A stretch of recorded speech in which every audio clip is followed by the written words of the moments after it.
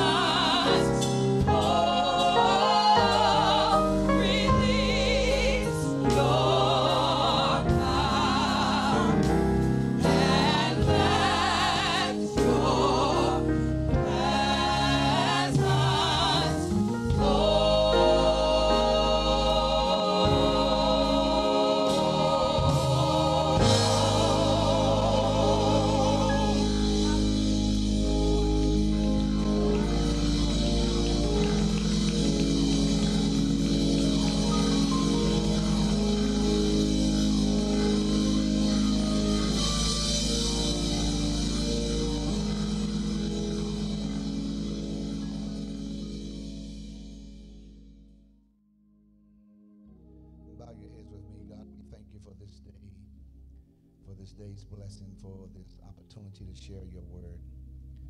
Thank you for watching over us all week long, bringing us into this present moment.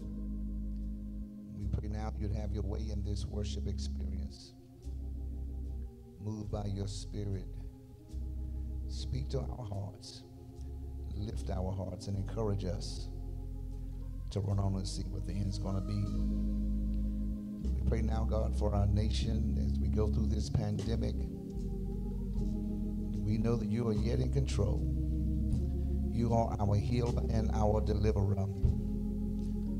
You are our way maker. Guide our feet, O God, as we journey through this pilgrim way. Bless your word on today and those that might listen. Bless every ear that hears your word on today. In Jesus' name, amen. Well, grab your Bibles and notice with me from the book of Colossians, chapter 3. The book of Colossians, chapter 3.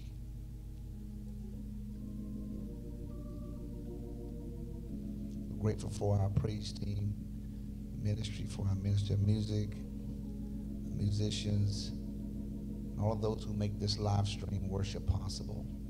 God is good and he's greatly to be praised. From Colossians chapter 3, beginning at verse 1, you'll find these words there. If ye then be risen with Christ, seek those things which are above, where Christ sitteth on the right hand of God.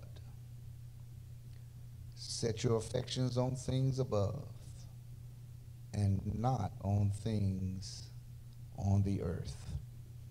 Amen. For the few moments that we have to share today, I just want you to repeat one word after me. Somebody say focus. Somebody say focus. We are dealing with a time in our life where we are facing so many different distractions. So many things are happening at the same time. We're facing a pandemic called COVID 19. We're dealing with the distractions of those who don't want to admit that America is filled with racial disparities. We're dealing with economic disparities. And even now, more and more we hear of those who would like to suppress our vote. So many things that would catch our attention, so many things that would cause us not to be able to remain focused on what those things that are important. Winston Churchill said, You'll never reach your destination if you stop and throw stones at every dog that barks. Because life can not be best lived with scattered intentions, constantly changing convictions, or far too many unsettled absolutes. In other words, you can't throw stones at every barking dog. What more of us need instead of increased faith is more disciplined focus. Often not reaching our destinations at this stage in our lives is really not an issue of lack of belief in God, but it can be an issue of lack of focus on who you should be, what you should be, where your energies are best spent, and where your passions are best applied. I can confess today that so many of my distracting seasons, potentially derailing moments, and painful experiences have been because I allowed my focus to become infected by trying to throw stones at every barking dog. God help me in here.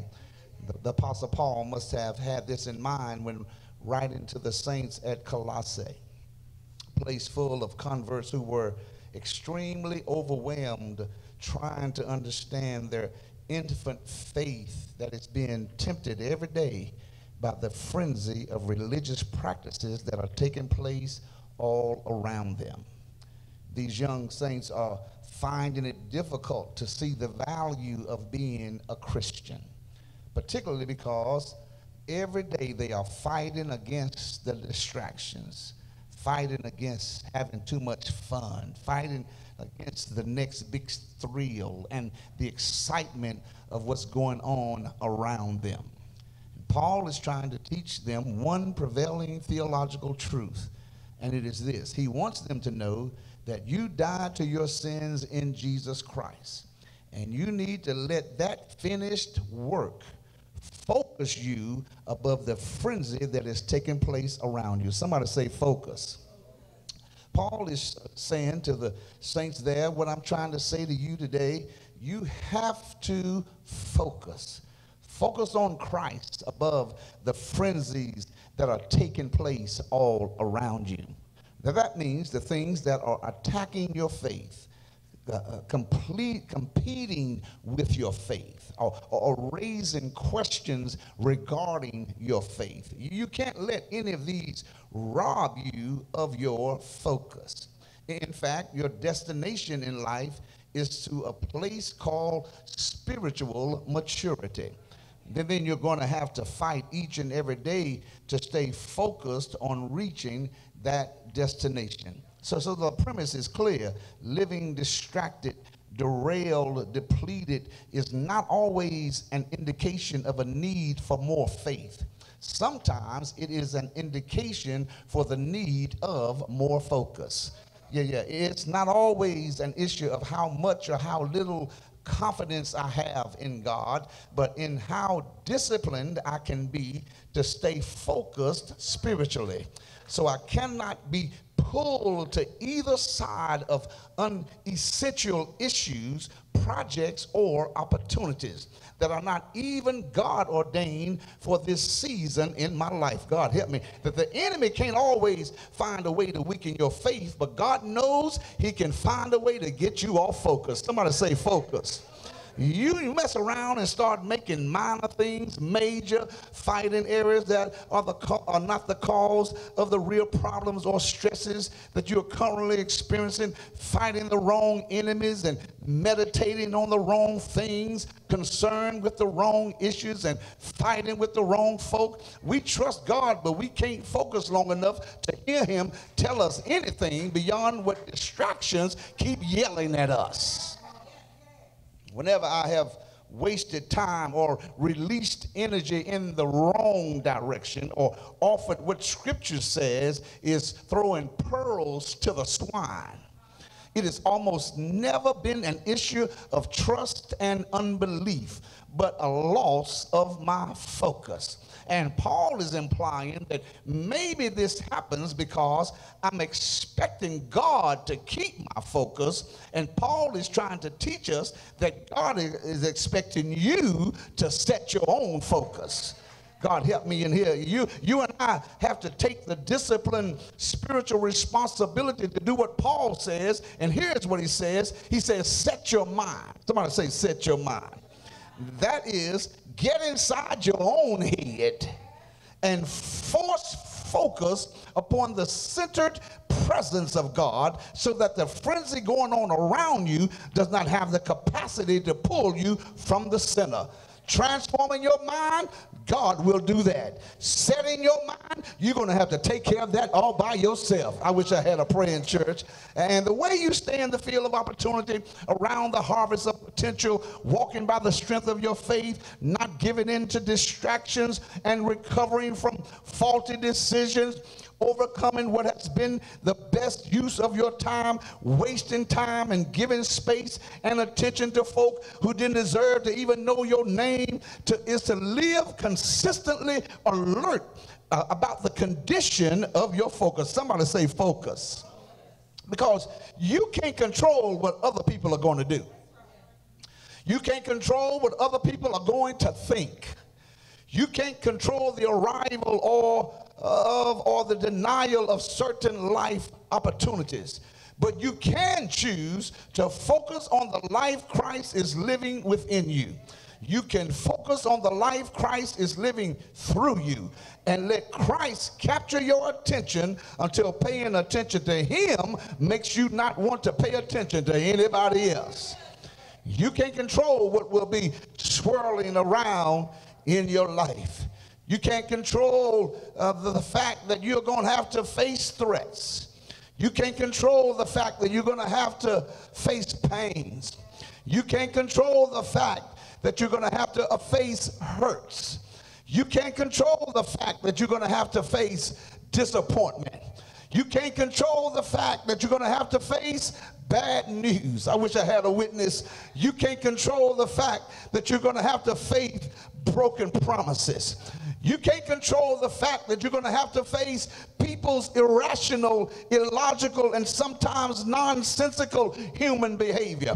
But you can decide this thing that I'm not focusing on other people's illogical behavior. I'm not getting caught up in other people's drama. I'm not being dragged into other people's mess. I wish I had somebody. I'm not living based upon other people's perception. I'm not letting pain and hurt drag me down the street when I've made so much progress. Tell somebody I've made progress and I'm going to focus on the fact that I'm stable in Jesus Christ. God help me in here because if God be for me, who in the world can be against me?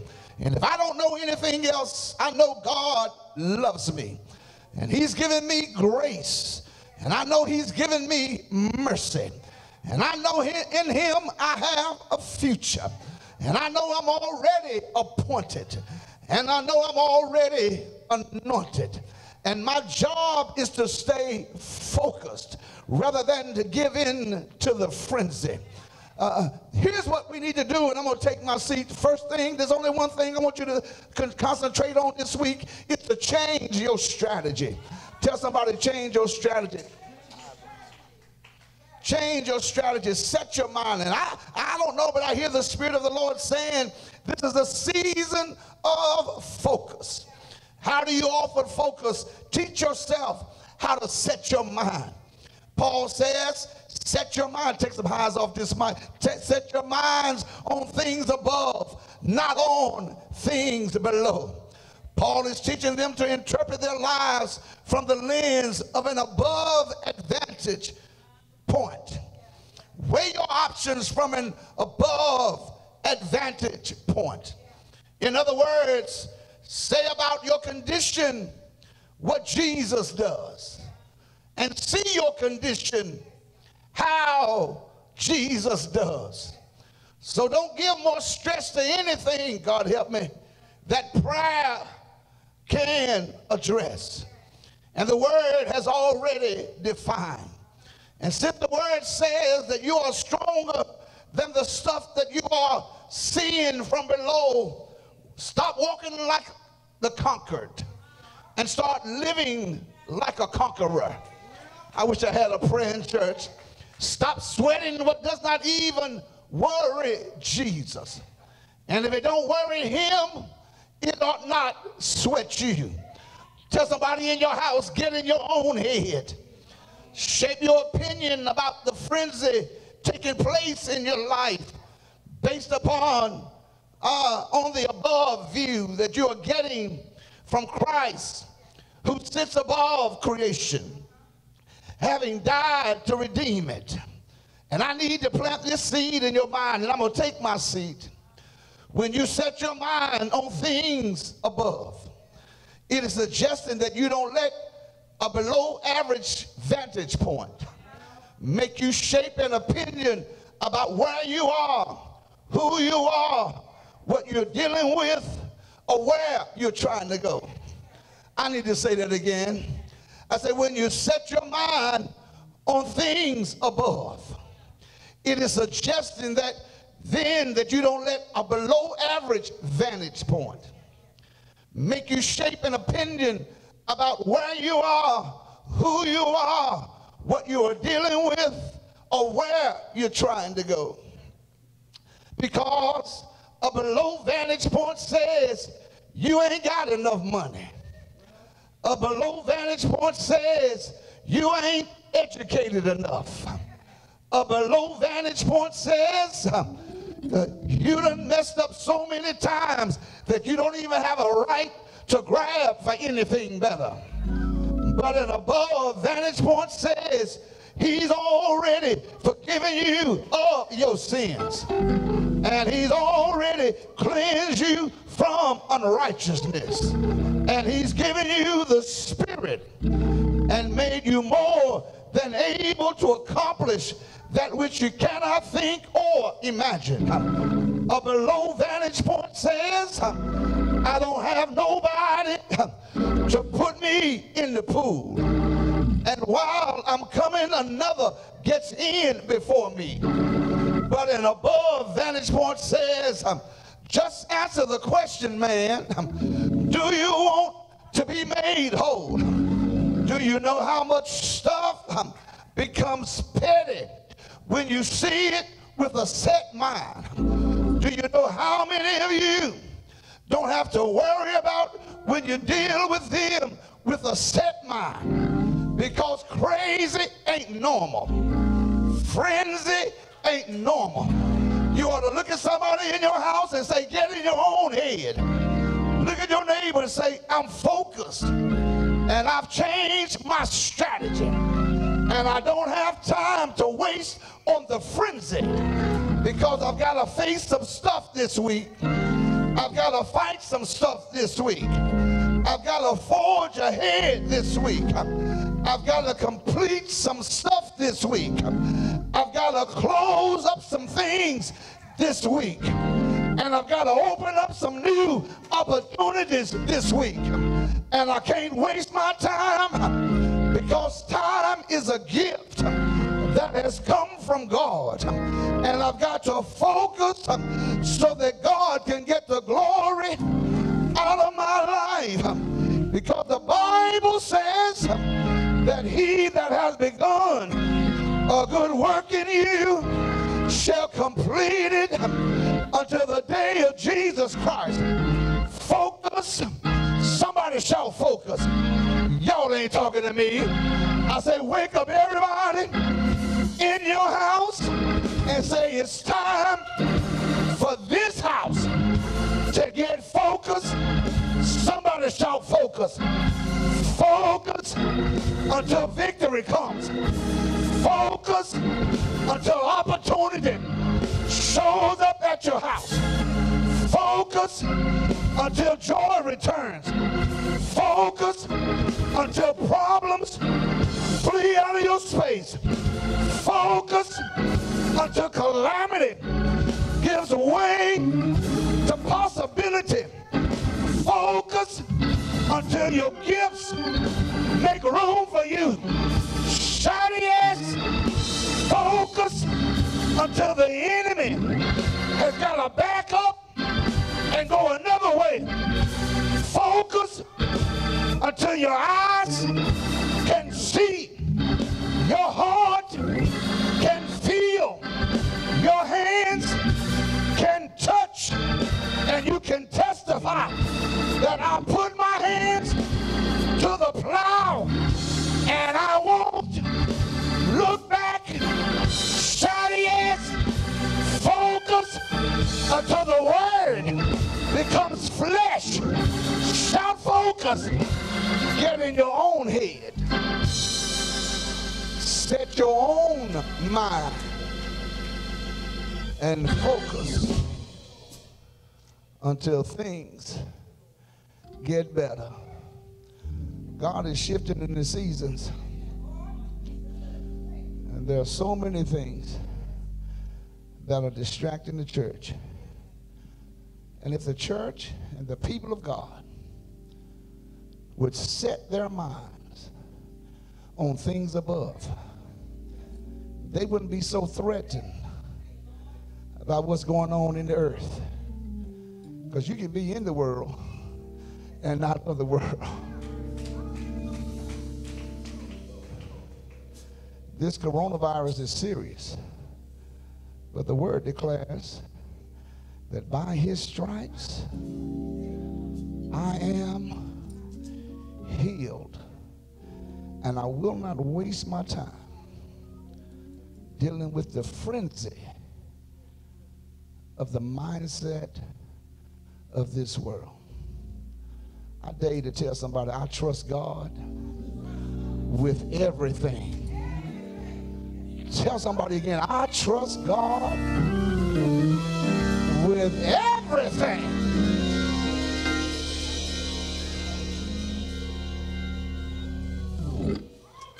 Focus.